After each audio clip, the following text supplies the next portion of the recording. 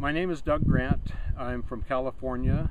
I'm uh, 65 years old. I retired about six months ago, and I'm really enjoying my retirement. Um, I have had a very uh, varied career. I started out working for Exxon for a couple of years doing computer simulations of uh, Prudhoe Bay in Alaska. And uh, most recently, I worked for the California EPA, uh, the Air Resources Board, working on uh, the California Global Warming Solutions Act of uh, 2006.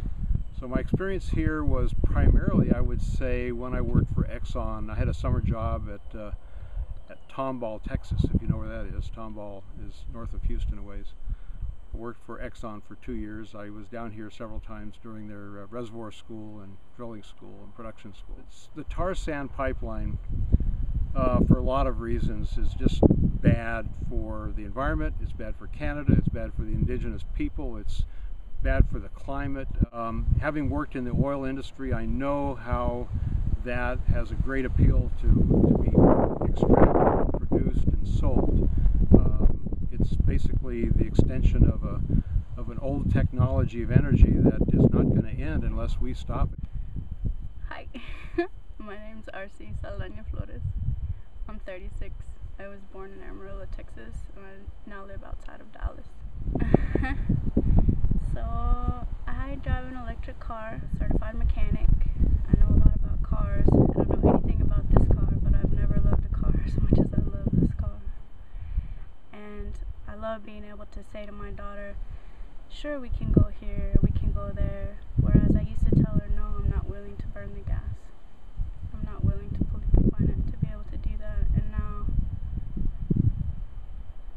energy powered car can take us. My name is Sam Avery. I'm 63 years old. I'm from uh, Hart County, Kentucky, and I am a homesteader. I'm a professional solar installer and an author. We are still at a time when the climate is pretty dependable. The seasons are fairly reliable still. The uh, temperatures are not all that excessive yet, but that we may very well be experiencing the end of that kind of stability that we've grown used to, taken it for granted. We really haven't paid much attention to the climate because it was always there. I don't think it's too late.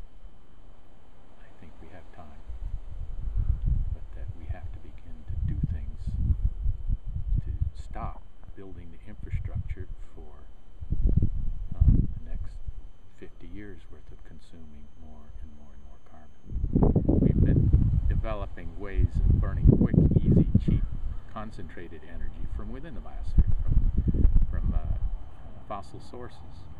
But we found that, that we're fouling our own nest with that. So for me, I, I'm not, I don't look at fossil fuels as being an enemy. I look at it as being a transitional fuel. It's just a question of when do we get started? When do we get stopped in using the wrong kind of fuel?